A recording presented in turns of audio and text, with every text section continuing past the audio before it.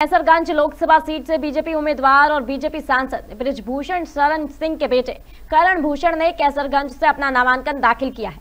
बता दें कि भाजपा ने अपने कैसरगंज के मौजूदा सांसद ब्रिजभूषण शरण सिंह को हटा दिया, जिन पर महिला पहलवानों द्वारा यौन उत्पीड़न का आरोप लगाया गया था और उनके बेटे करण को सीट से मैदान में उतारा है।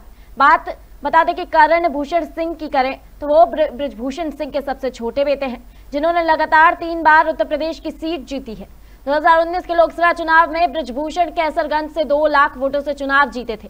वहीं करण भूषण सिंह वर्तमान में उत्तर प्रदेश कुश्ती संघ के अध्यक्ष हैं। और गोंडा के नवाबगंज में सहकारी ग्राम विकास बैंक के अध्यक्ष भी हैं।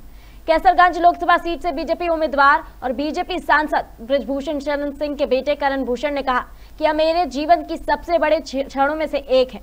यह वास्तव में अच्छा लगता है। मैं केसरगंज के लोगों को धन्यवाद देना चाहता हूँ और उनसे अनुरोध करता हूँ कि वे ऐसा करते रहें।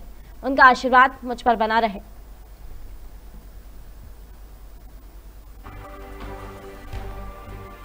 बहुत बढ़िया महसूस करें मेरे जीवन का सबसे बड़ा पल है।